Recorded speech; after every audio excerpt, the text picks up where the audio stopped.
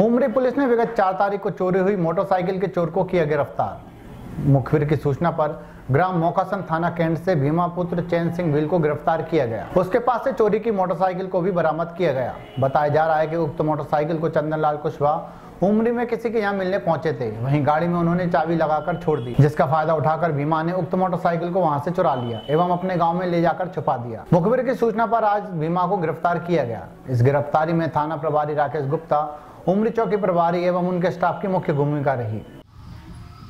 Video ही हो रहा है।